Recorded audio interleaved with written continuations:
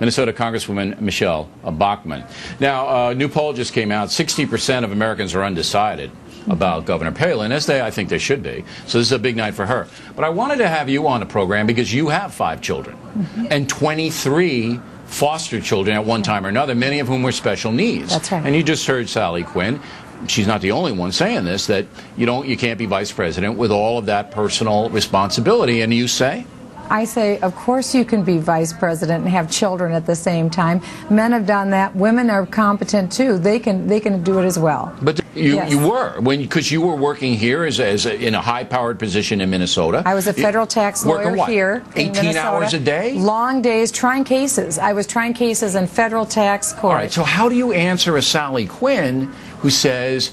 You can't be responsible and take these high power jobs, move to Washington when your kids are in Minnesota. You say what? Women do it all the time, But Bill, you, and you, they do it you. successfully. How did I do Yeah. it? I did it because I had a very supportive husband, as it seems Sarah Palin, has and Todd. But also, you prioritize. I didn't have a lot of discretionary time for myself. It was either the kids or what I had to do with work. And you can do it all. You just can't always do Did it everything at affect one the time. children that you weren't in the house four days a week?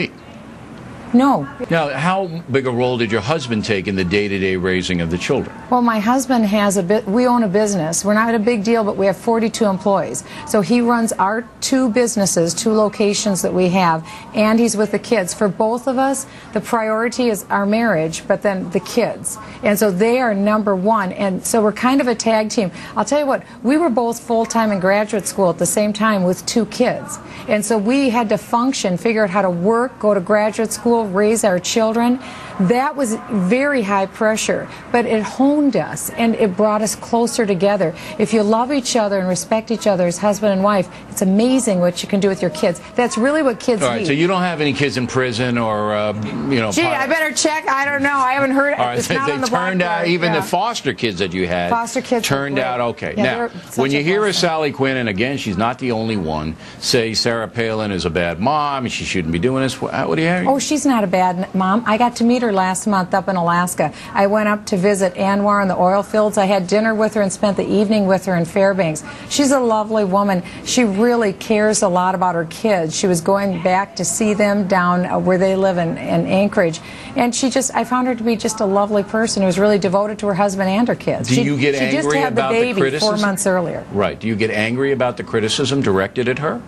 You know, it is kind of a liberal doublespeak that I'm seeing because there's, there's, isn't it interesting how all of a sudden these far left Democrats are now embracing traditional family values, you know, and they're all worried.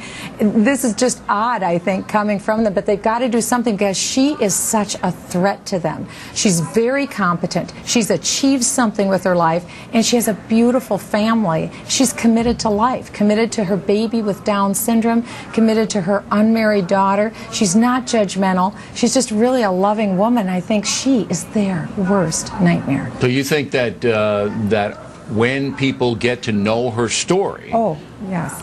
that the whole thing is going to turn around and Dick Morris said there's going to be a backlash against the people who are hammering her I think now. Dick is probably right. I think Dick is right on that. For once in his life. right? well, I won't comment there, but but I but I do think, Bill, that that is the biggest challenge that Sarah Palin faces right now Yeah. because she's being defined by a very biased leftist media, and her challenge is to define herself. She's gotta do that Tonight's her tonight. chance. Tonight's her chance.